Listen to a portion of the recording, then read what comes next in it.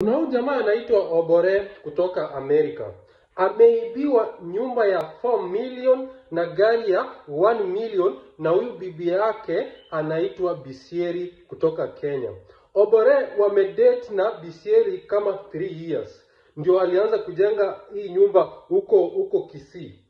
Baada ya miaka mitatu saa hii ndio alimwachia Daido deed ya shamba. Bishiri akabadilisha ile title deed ikaingia kwa majina yake akachukua bila huyu Obore kujua, na akachukua na hiyo gari alikuwa amemnunulia.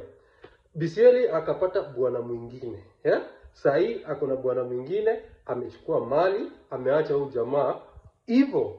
Huyu jamaa saa hii eh, ako na stress ile mbaya, saa anakunywa pombe ile mbaya huku Amerika but ako sawa. Ile kitu tu anasema hawezi kuacha huyu msichana free, atamfanyia kitu na ame make sure anaenda kuripoti kitu kwa polisi, huyu msichana amrudishie mali yake eh?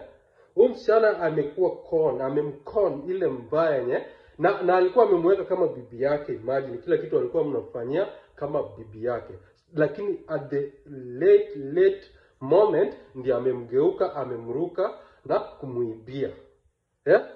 Hey, saa hii jamaa hakuna stress stress ile mbaya, ajui chenye atafanya.